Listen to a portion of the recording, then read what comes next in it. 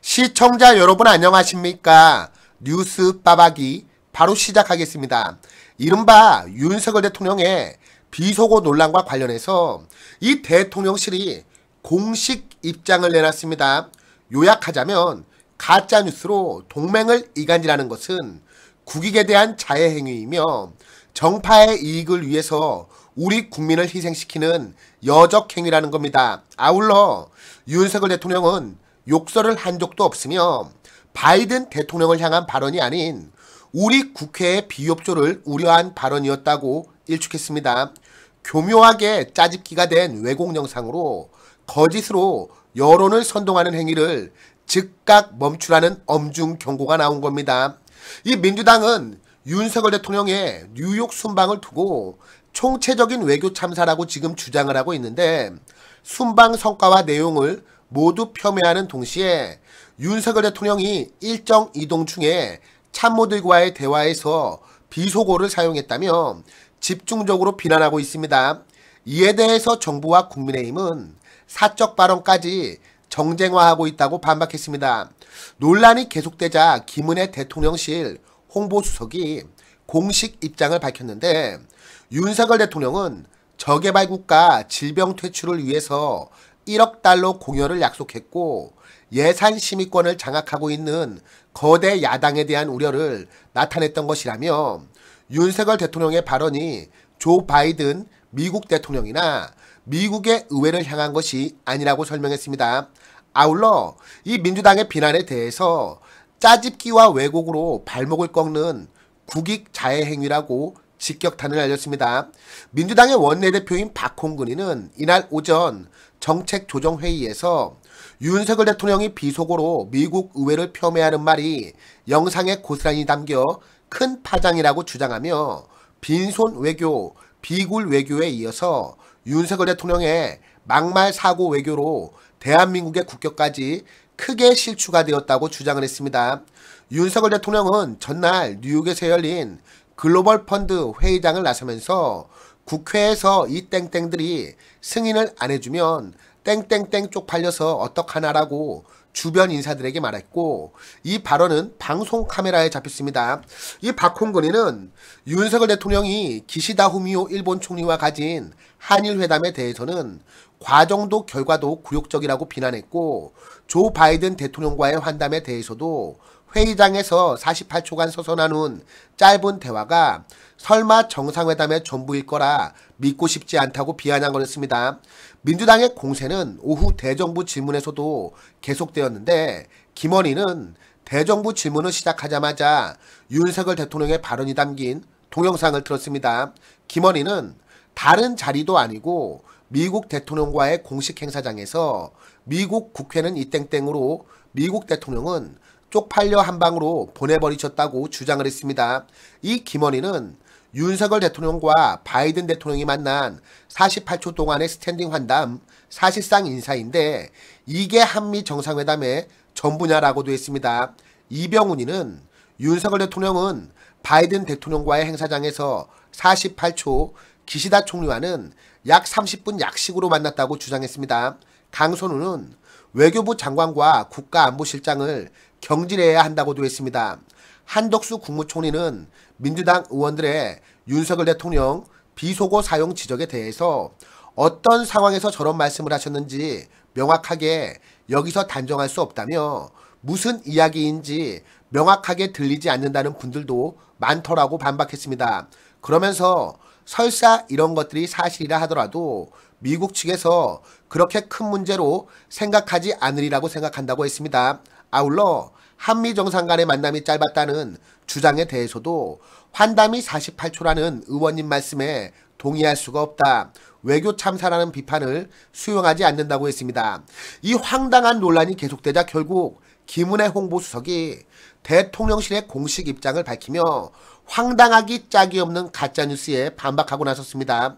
김은혜 홍보수석은 이번 논란이 된 윤석열 대통령의 발언이 미국 의회와 바이든 대통령을 향한 것이 아니라 우리 국회를 향한 것이었다고 밝혔습니다.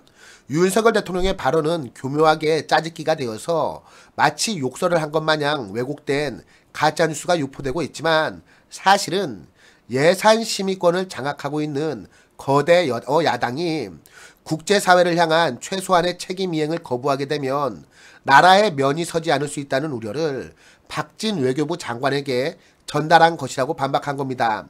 김은혜 홍보수석은 글로벌 펀드 재정 공약 회의는 미국, EU, 독일, 캐나다, 일본, 프랑스, 한국 등이 저개발국가 질병 퇴치를 위한 재정 기여금을 발표하는 자리였다며 우리나라는 예산에 반영이 된 1억 달러의 공여 약속을 하고 간단한 연설을 했다.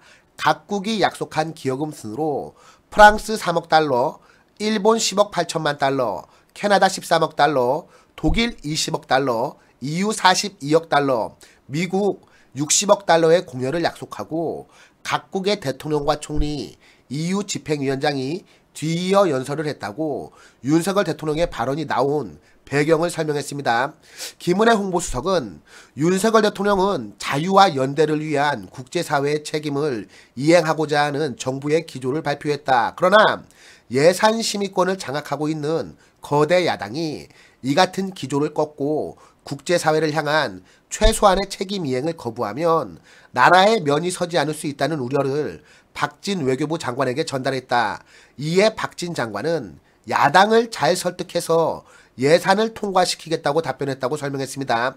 게다가 우리가 공여하기로 한 금액은 1억 달러로 타 국가들에 비하면 미국의 60분의 1, EU의 42분의 1, 일본의 11분의 1 수준의 상대적인 소액인데 이마저도 야당의 반대로 국회에서 막혀버리면 면이 상한다는 취지의 발언이라 이겁니다.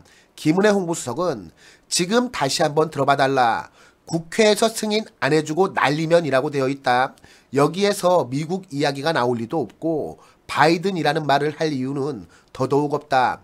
또 윤석열 대통령 발언에 이어서 우리 국회에서 노력하겠다는 취지의 박진 장관의 말은 영상에 담겨 있지도 않다고 재차 강조했습니다. 즉 교묘한 짜집기로 왜곡 편집이 된 가짜뉴스 동영상이라는 취지입니다. 김은혜 홍보수석은 결과적으로 어제 대한민국은 하루아침에 70년 가까이 함께한 동맹 국가를 조롱하는 나라로 전락했다. 순방 외교는 국익을 위해서 상대국과 총칼 없는 전쟁을 치르는 곳이다. 그러나 한 발 더 내딛기도 전에 짜집기와 왜곡으로 발목을 꺾는다며 대통령과 국정 운영에 대한 비판은 언제든지 수용한다. 그러나 대통령의 외교 활동을 왜곡하고 거짓으로 동맹을 이간질하는 것이야말로 국익 자해 행위라고 질타했습니다. 나아가 김은혜 홍보수석은 여쭙고 싶다. 여, 어? 여쭙고 싶다. 우리에게 국가란 무엇입니까? 정파와 이익을 위해서 국익을 희생시킬 수는 없다. 누구보다 국민이 잘 알고 계실 것이라고 덧붙였습니다. 김은혜 홍보수석은 비속어가 우리, 우리 국회를 향했다는 뜻이냐는 질문에 그렇다고 답했습니다. 이어서 미국은 현재 바이든이 속한 민주당이 여당이기 때문에 약속했던 60억 달러를 공유하는데 문제가 생길 수가 없다며 논리상으로나 상황상으로 윤석열 대통령이 바이든이라고 칭할 이유가 없는 것이라고 꼬집었습니다. 해당 발언을 윤석열 대통령에게 직접 물어보고 확인을 받았냐는 질문에는 나 김은혜는 대통령실 홍보수석이다. 이 부분은 제가 직접 대통령께 묻고 하는 그런 절차를 떠나 따로 저희가 검증하고 그 기억을 다시 따라가는 작업 없이 이야기한다는 것은 무리가 있다며 윤석열 대통령에게 확인을 받은 사항이라고 거듭 강조했습니다. 그러니까 일부 언론이 의도적으로 아주 이 악의적인 왜곡 보고 왜곡 보도를 했다는 취지인데 이자들에 대해서는 반드시 그 책임을 따져 물어야 할 것입니다. 그리고 특히 이 짜집기 짜집기 된 발언 후에 이 박진 장관의 발언이 있었다고 하는데 이를 알고도 의도적으로 해당 부분을 삭제하고 한미동맹을 이간질하려는 목적으로 악의적인 짜집기를 했다면 이는 여적죄로 처벌해야 하는 심각한 사안이 아닌가 합니다. 이와 함께 민주당 소속 의원들의 국익을 외면한 망언과 망동에 대해서도 우리 국민들의 심판이 반드시 뒤따라야 할 것입니다. 이제서야 모든 진실이 드러났습니다. 이제 악의적인 가짜뉴스를 유포한 여론조작 세력에 대한 응징이 시작되어야 할 것입니다. 그럼 오늘 뉴스 빠박이는 이쯤에서 마치도록 하겠습니다. 함께 해 주신 시청자 여러분 모두 감사합니다.